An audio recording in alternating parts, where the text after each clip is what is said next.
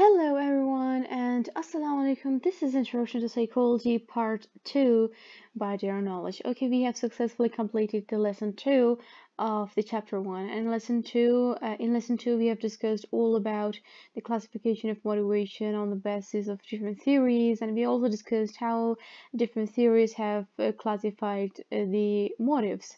So uh, if you have missed any of the previous lecture i've given all the links in description box. Uh, go ahead click on those links and watch those videos. Uh, in case if any of the link is missing you can ask me in the comment section and i'll upload or I will update the description section for you.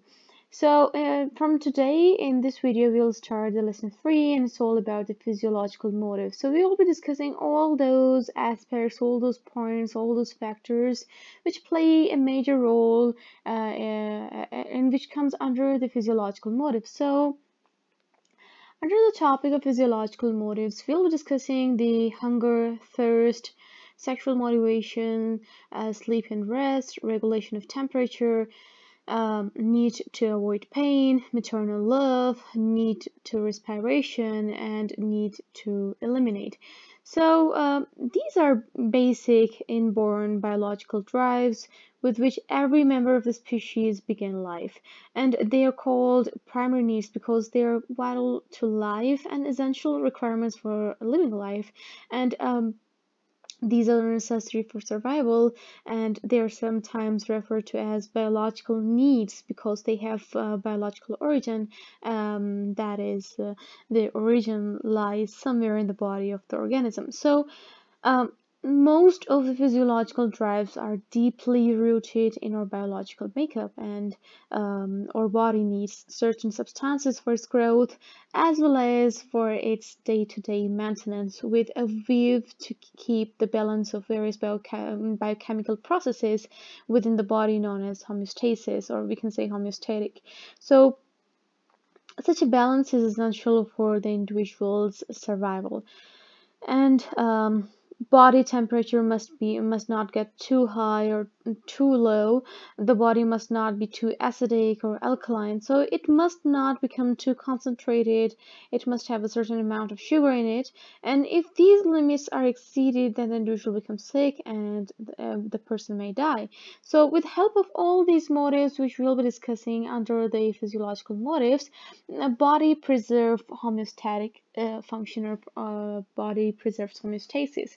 So uh, let's start with the first physiological motive which is hunger and then we will uh, discuss thirst and then we'll discuss sexual motivation sleep and rest regulation of temperature need to avoid pain maternal love need to respiration and need to eliminate. So let's start with the hunger now the body is always using up materials in growth um, in the repair of tissues and in the storage of nerve supplies now, body needs energy and energy comes from food.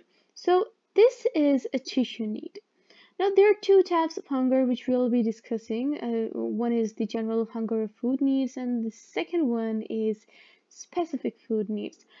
Now, um, if we talk about the general hunger or food needs, uh, whenever there's a feeling of contraction in the stomach or when someone reports weakness or lightheadedness, there is a need to eat food. And about the specific uh, food needs, so specific food needs arise uh, whenever the individual need of food is not because of hunger but because of his preference of that particular food. So after much research, it has been found that uh, hunger drive is caused by um, contractions of the stomach, the reduction of sugar in the blood, uh, and there are some other important factors like the neural factors which play uh, an important role in in the cause of hunger drive, the smell and taste of food, the sight of food, preferences and culture, learning experience and cognitive factors. So uh, we will be discussing this one by one. So let's start with the contraction of stomach. Now, Cannon and Washburn and Carlson in 1916 uh, in an experiment made the subject swallow a balloon. you know, a tube was connected to this balloon, and the one end of which was connected to kymograph, and um, the balloon was filled with air, and the experimental was asked uh, to uh, press a key when he uh, uh felt hungry. Now, by this experiment, they concluded that um, hunger is due to contraction in the stomach. Then the second one is the reduction of sugar in the blood. Now, the reduction of sugar in the blood starts hunger sensation while its excess reduces it. And um, important factor in hunger drive is neural. When the information of contraction in stomach, the rate of sugar in blood reaches hypothalamus and cortex, the hunger drives takes place. So when hypothalamus is stimulated, hunger increases. And Eating and hunger is also strongly affected by the smell and taste of food. The sight of food is also an important factor in eating, and food that are attractive in appearance are hard to resist, and many people thus eat more than required. And depending on the preference and culture in which a person is raised, the thought of any food item may induce hunger panges or um, hunger panges or feeling of nausea. Now, such contrasting reaction uh, suggests that although hunger does not indeed stem from biological needs, um, it is strongly influenced by learning and experience and uh, by cognitive factors. Now, it is a complex uh, need which uh, sometimes causes eating disorders such as obesity, which is the state of being significantly overweight, and um, anorexia, uh, anorexia nervosa, uh, which is an eating disorder in which an individuals starve themselves and often lose a dangerous amount of weight. And uh, another eating disorder is bulimia and uh, such people who facing the disorder bulimia they have periods of binge eating alternatively with periods of self-induced purging. So these all these were this was all about the hunger. Now the next topic uh, which we'll be discussing right here is thirst.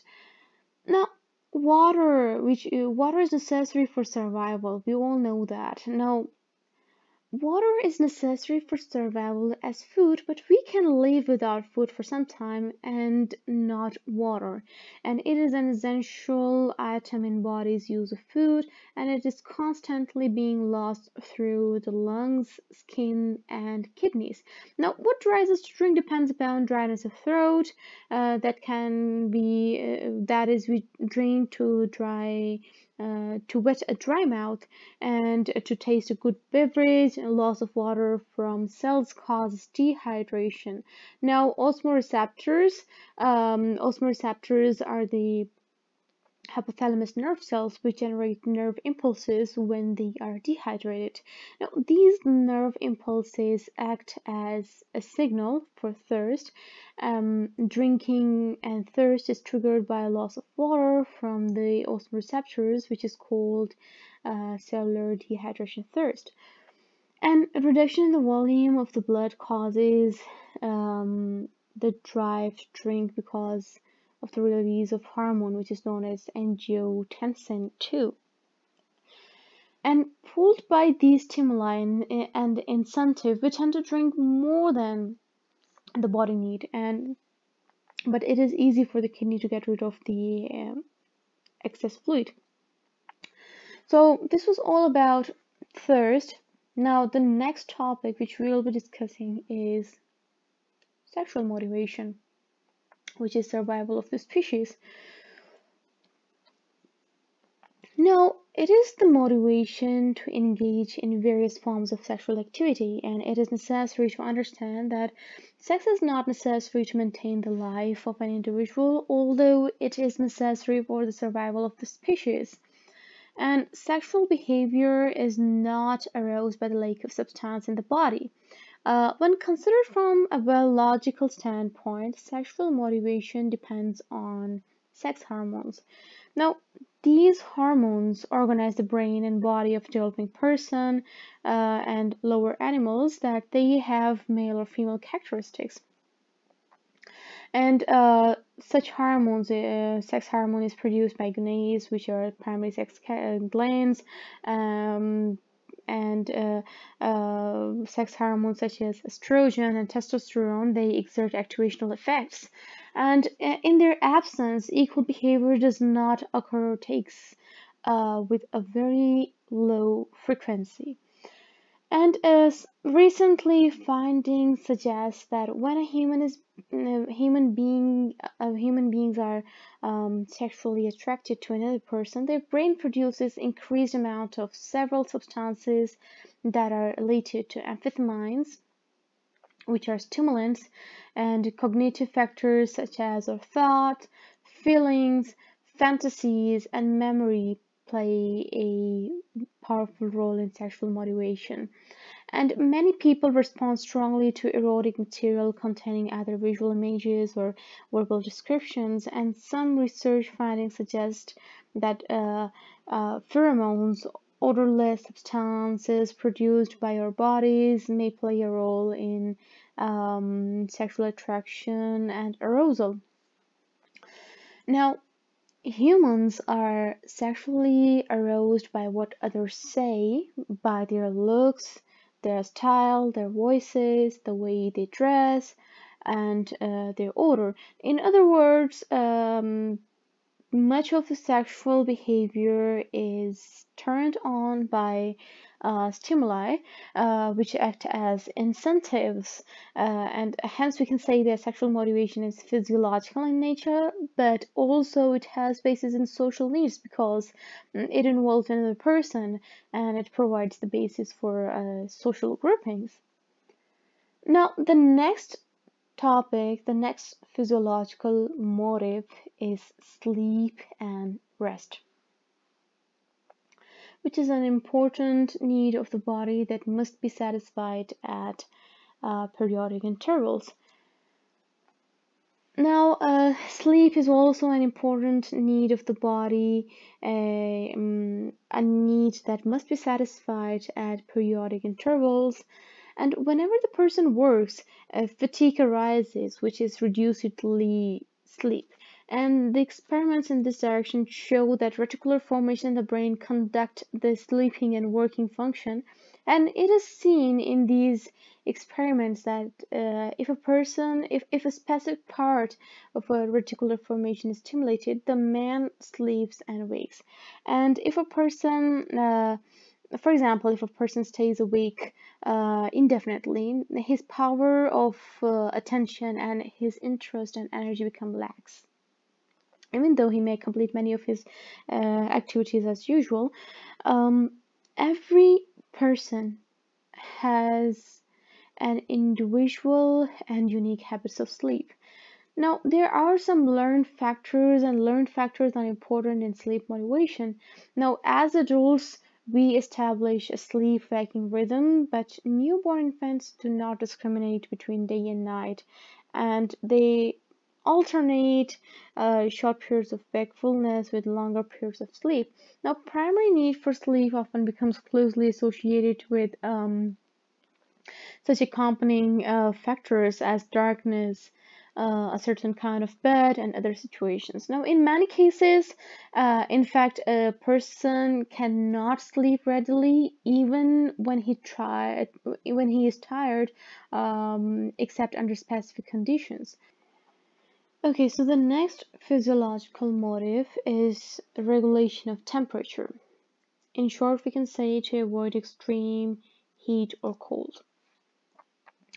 Now, uh, regulation of temperature is the biological, or we can say it is the biological need to avoid extremes of heat or cold and there is a need to maintain and regulate normal body temperature um, uh, hypothalamus in the brain regulates the body temperature. Whenever the body temperature dips down, the normal body shivers so as to produce heat. And when the body temperature shoots up, we perspire a lot, producing sweat, which on uh, evaporation causes coldness, lowering of temperature, uh, which brings the um, temperature back to normal. So uh, in this way, homeostasis is maintained. Now, certain of new tranquilizing drugs that act to depress the activity of the uh, lower uh, brain centers, including hypothalamus, have occasional side effects that involve the disturbance of temperature. Uh, regulating mechanism, um, presumably located in the hypothalamic region. So, uh, it is one of the physiological needs that our body must maintain homeostasis uh, by regulating temperature, by keeping the temperature on a normal level. So the next physiological motive is need to avoid pain. Now in short, we can say one of the strongest needs for human being is to need to avoid pain. So the drive to avoid pain is one of the strongest needs for human beings and other animals, and there is a need to run for safety, to avoid any injury, and consequently pain. And whenever uh, we undergo surgery, usually anesthesia is given, uh, the term which itself means no sensitivity. And there is a desire to reduce or eliminate pain and to lessen the suffering of others. Okay, so the next uh, physiological uh, motive is maternal love. Now, maternal instinct is full of love. It is also instinctive in nature and it is equally learned. Um, now, it, it is necessary in the development of the child following the birth of a newborn. Um, this is due to maternal inst instinct, which is full of love, care, devotion, and understanding of child's needs. Now, human mothers show maternal behavior, which is both learned and physiologically uh, and physiological in nature. So uh, again, uh, maternal love, uh, mother's love is full of love, uh, or we can say mother or maternal instinct is full of love, care, devotion, and it's it's, it's innate as well as it's learned. And the next physiological motive is need for respiration. In short, we can say intake of oxygen and release of carbon dioxide. Now, respiration refers to the intake of oxygen and release of carbon dioxide. The need for respiration is a necessary uh, motive because of the body needs and basis of survival. Um, even though this process goes on automatically, it is under certain circumstances urgently needed, such as during accidents, um, mountaineering in space, deep oceans, and for breathing troubles. Now, in such circumstances, need for oxygen uh, can be the strongest physiological motive, which ordinarily goes on and completely unaware as it is continuous, uh, uh, continuously and um, automatically being satisfied. Okay, last but not least, the next physiological motive is need to eliminate. Now, in short, we can say energy is consumed and the rest is turned into waste products. Now, this is another basic physiological need. And energy is consumed and, um, and the rest is turned into waste products and they are collected in the intestine and bladder and then pressures built in the organs to release the waste products that is to eliminate. Now excretion can be uh, in the form of urine perspiration and water um, urea and other unwanted uh, or extra nutrients are thrown out of the body so as to maintain the balance of the body. So these were all the factors they they, they that comes under the physiological motives. And, um, and they play a key role in maintaining the homeostasis of a human body so this was the end of the uh, today's video. If your concept is clear, you can like the video. If not, you can ask us in the comment section and we will be happy to help you out. Plus, if you're new to this channel, you can subscribe to Dear Knowledge. You can subscribe to our channel. Click on the bell icon so you will never ever miss any notification. Uh, you can also share the link of this channel with your family members and friends because sharing is caring. Until then, Allah Hafiz.